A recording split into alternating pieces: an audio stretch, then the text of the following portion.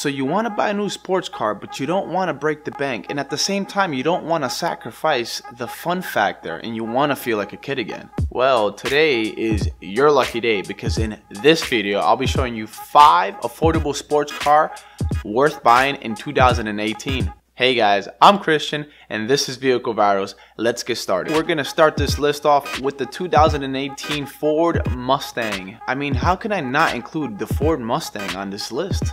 It's been the number one selling sports car in America for the last 50 years. And now after pushing an international expansion has become the number one sports selling car globally. That's right globally. This veteran of a car is now sold in 140 different countries. Unbelievable. Unfreaking believable. Interesting enough, this year Ford discontinued the V6 naturally aspirated engine for the Mustang and now we're left with a 4-cylinder 2.3 EcoBoost engine. And for those that are not familiar with the term EcoBoost, it's just another word for turbocharged. In a nutshell, according to Ford, EcoBoost is a form of direct fuel injection and turbocharging which is supposed to increase fuel efficiency without sacrificing power. You'll get 21 miles per gallon in the city and 31 miles per gallon in the highway and still producing 310 horsepower and 350 pound-feet of torque. Wait, what? Well, that's just what Ford said. Increase fuel efficiency without sacrificing power. The exterior really hasn't changed from the 2017 variant, but I mean, why even change something that's not broken? Some key standard features include independent rear suspension, track apps that allows you to track lap times and other performance features. And get this, it also includes launch control, even for the standard manual transmission. I mean, doesn't that sound like a lot of fun? I mean, it sounds like a lot of fun. The interior looks great. No question about that. The front seats are superb, but good luck trying to get somebody to volunteer to sit in the back seats. I mean, those are claustrophobic like. So if you want a powerful sports car that does not need an introduction whatsoever, the 2018 Ford Mustang might just be the car for you. Moving on. The next car on the list is the 2018 Chevrolet Camaro. God, I don't know how to say that. Let's just stick with Chevy Camaro. It sounds a lot better and I can pronounce it a lot better. That's right. That's the Mustang's closest competitor. I'll tell you something. I have a soft spot for Camaros. When I first saw it in the first Transformers movie being played by the character Bumblebee, I was like, oh my god. What car is that? It's no lie that the Transformers movie greatly helped the Camaro become the number two best selling sports car here in the US, behind the Mustang of course. The small yet powerful 4-cylinder 2.0 liter pushes 275 horsepower and 295 pound-feet of torque. The Camaro gets 20 miles per gallon when you're driving in the city and it gets 30 miles per gallon when you're driving in the highway. If you haven't noticed by now, car manufacturers are trying to capitalize on sales by creating smaller turbocharged engines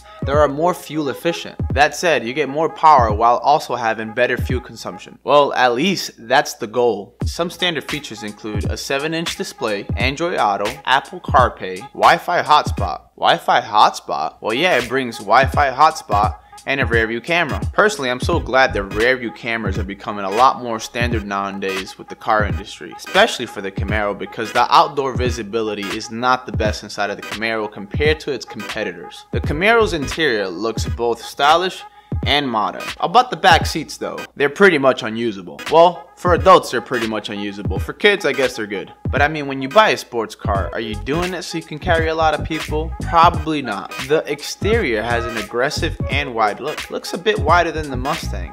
And personal preference, I actually like the look of the Camaro more than the Mustang. Don't hate me. It's just personal preference. If you like the Mustang, you like the Mustang. I like the exterior of the Camaro, and I always have. And now we move on to Italy. So the next car is the 2018 Fiat 124 Spider. So you want a sports car that can drop its top and have everybody trying to figure out what you're driving. And on top of that, it's arguably one of the most fun cars to drive out there. Well, the Fiat might just be the one for you then. Just a warning, the specs might not sound like much, But keep in mind that this car weighs a thousand pounds less than the Ford Mustang at just 2,400 pounds curb weight. That said, the Fiat is equipped with a four-cylinder 1.4 liter turbocharged engine that produces 160 horsepower and 184 pound-feet of torque. As far as gas mileage, you get class leading 26 miles per gallon in the city and 35 miles per gallon in the highway.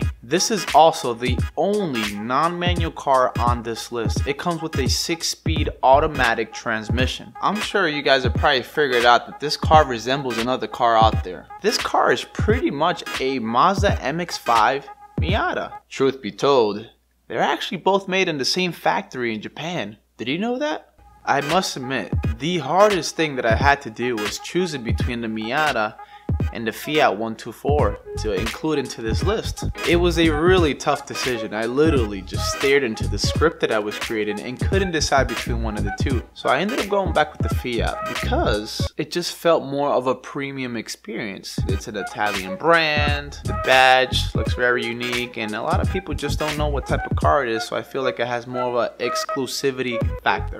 I'm sorry if you're a Mazda fan. I will tell you this, if you're all about the sound, you want a sports car that has a really good sound and probably sounds better than the Fiat 124, then you're going to want to go with the Mazda Miata. It doesn't have a turbo engine, it has a 4-cylinder 2.0 naturally aspirated engine and sounds fantastic. If that's the thing that you want from your car, then go for that one. But in my opinion, I think that the Fiat edges it just a bit. Some key features for the Fiat include leather wrapped steering wheel and shift knob, a black soft top, and independent rear and front suspension. The interior offers two seats, perfect for you and a girl, or you and a guy, or you and a pet. Oh, you and a pet, that's a great idea, especially with the top down. Can you imagine how much fun? Okay, let me stop, I'm going off track. The Italian interior will keep you comfortable throughout long rides and also around very curvy roads, which is exactly what this car is meant for, very curvy roads. Fourth on this list is the 2018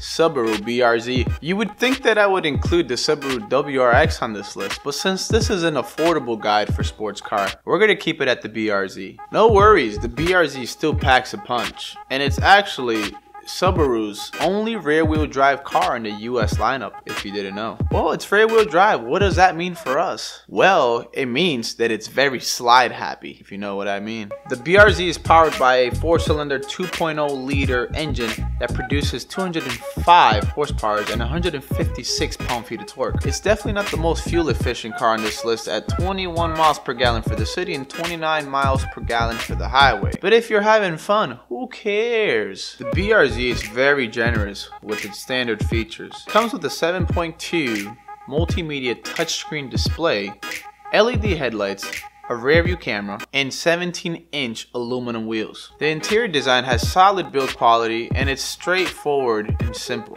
There's one thing about the exterior that you might find familiar. Looks very similar to the discontinued Scion FRS and the new Toyota 86. But the BRZ has a little bit more of an edgy look, so that's why I put that car on this list. So you combine fast fun and practicality and you get the 2018 Volkswagen Golf GTI. The Golf GTI is the perfect balance between comfort and performance, no doubt about it. The Golf arguably invented the segment of the hot hatch back when it debuted back in the 1970s. But note that the Golf wasn't available in the US until the 1980s. So there's one thing that separates this car from the rest of the cars on this list. Take a guess. Ding ding ding ding ding. Time is up. It's a front wheel drive car. So that means no drifting in this car. That doesn't mean you can't power slide. Whoa, let me add this disclosure. In no way am I advising that you go power sliding with the Golf GTI. You heard? The GTI comes equipped with a 4-cylinder 2.0 liter engine that pushes 228 horsepower and 258 pound-feet of torque. As far as fuel efficiency goes, it's not too bad. 21 miles per gallon to the city and 29 miles per gallon to the highway. Top standard features included in a Golf GTI are 6.5 inch touchscreen display, 18 inch aluminum wheels, Android Auto, Apple CarPlay, and a sporty chassis. And you know what a sporty chassis mean? It's fun to drive. This car feels a lot more expensive than what it really is. The interior is also uncluttered and has enough room so you can call this a small family vehicle. My favorite feature you ask? Well, the shift knob. It's shaped like a golf ball and it's dimpled like a golf ball. Clever, isn't it? I think so. What a surprise, the back seats are actually usable in this car. Plenty of space, lots of space in the cargo area. I mean, it is a hatchback after all. It has about 23 cubic feet of space in the cargo. That's a lot. And once you actually fold down the back seats, you get a whopping 53 cubic feet of cargo space. Isn't that great? Like I said earlier, fun and practical. The exterior has also been updated, so if you decide to purchase this car, you don't have to worry about going out of style for a few years at least. Well guys, I hope you guys found this guide informative and entertaining in some kind of way. If you enjoyed it guys, hit the like button below and if you want to see content more like this, make sure you hit the subscribe button and hit the bell right next to it so you know exactly when I'm uploading the next video. Question for you, which of the five cars that I listed on the video was your favorite? Make sure and comment below. I hope you guys all have a great day. Thanks for watching. Till next time.